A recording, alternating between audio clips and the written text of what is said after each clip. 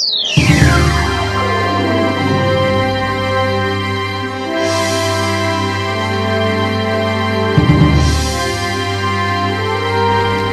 na ang Balitang Pamasino.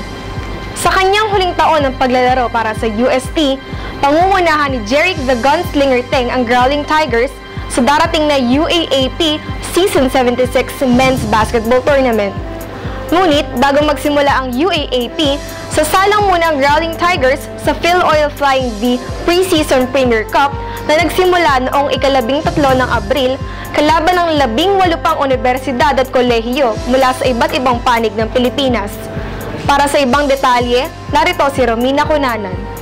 Matapos ang matagumpay na kampanya sa Philippine Collegiate Champions League o PCCL at pumangalawa sa Ateneo sa UAAP, handa na si Jeric Teng na pangatawanan ang kanyang tungkulin bilang bagong kapitan ng Growling Tigers.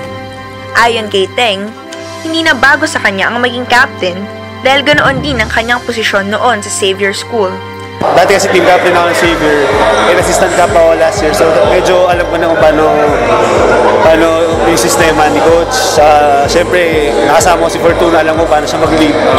So this time siguro, ang magawa ko lang is to set an example to them na, yun nga, last year nakarating tayo, this year may chance pa tayo.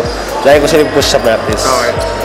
Ah, Siyempre, may pressure talaga sa akin. Ah, yun nga, ah, siguro, ini-expect ng tao ako na yung mag-lead ng team talaga. Pero sa akin naman, it's about ah, yung team namin talaga. eh. Lahat kami, kasi hindi lang naman pwede ako gagawa. And siguro pressure na rin na it's my last year na I really want to win the championship. Samantala, malaki naman ang tiwala ni Coach Pido Harencio sa kapasidad ng veteranong shooting guard, lalo na't inaasahang magiging mahigpit ang labanan sa darating na Hunyo. uh, yung trust, yung confidence is nandun ever since na dumating siya rito sa team natin.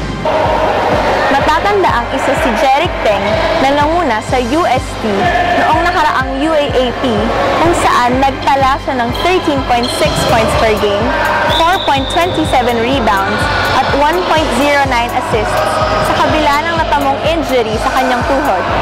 Itinanghal si Teng na Rookie of the Year noong Season 72 at Most Valuable Player ng PCCL noong nakaraang taon. Ramina Conanan para sa V-Exclusives Update. Salamat, Romina!